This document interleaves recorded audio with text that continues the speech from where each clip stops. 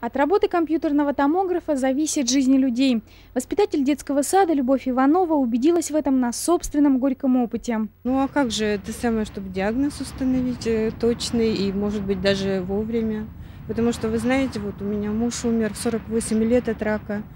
Очень долго не могли поставить диагноз. Компьютерный томограф в Череповце есть, но из-за частых поломок работает он далеко не всегда. Одна из последних поломок случилась весной 2009-го. Тогда на ремонт аппарата понадобилось полгода. Все это время диагнозы больным врачам приходилось ставить буквально на глаз, но после ремонта аппарат проработал недолго. Компьютерный томограф Первоградской больницы сломался примерно два месяца назад. С тех пор все сотрудники кабинета томографии, это примерно 5 человек, находятся в вынужденном неоплачиваемом отпуске. Аукционные процедуры на проведение ремонтных работ томографа были назначены на 10 сентября.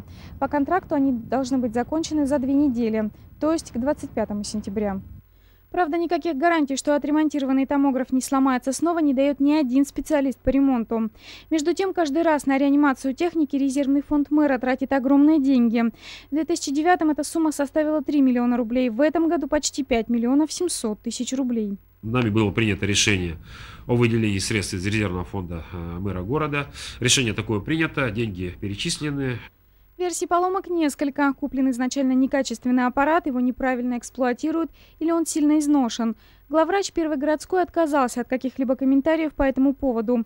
Руководитель горздрав в отпуске, исполняющая его обязанности, оказалась не готова к подобным вопросам. Однако получить на них ответы нам все же удалось.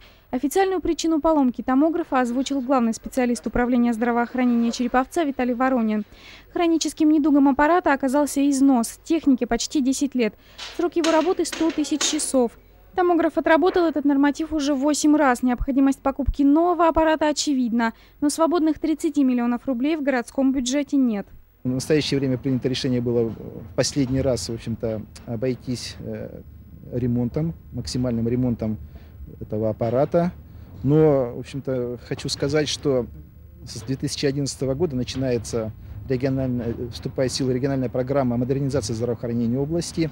В рамках этой программы, в общем-то, мы получим для городской больницы номер один не менее одного компьютерного томографа, возможно, даже два, и ядерно-магнитно-резонансный томограф.